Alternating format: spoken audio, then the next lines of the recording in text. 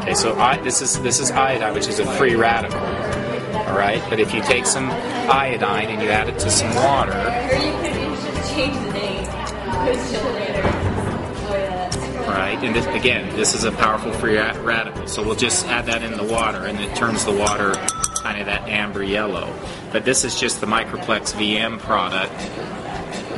You don't need very much, but you put a little bit of that product in there, and then we stir this up.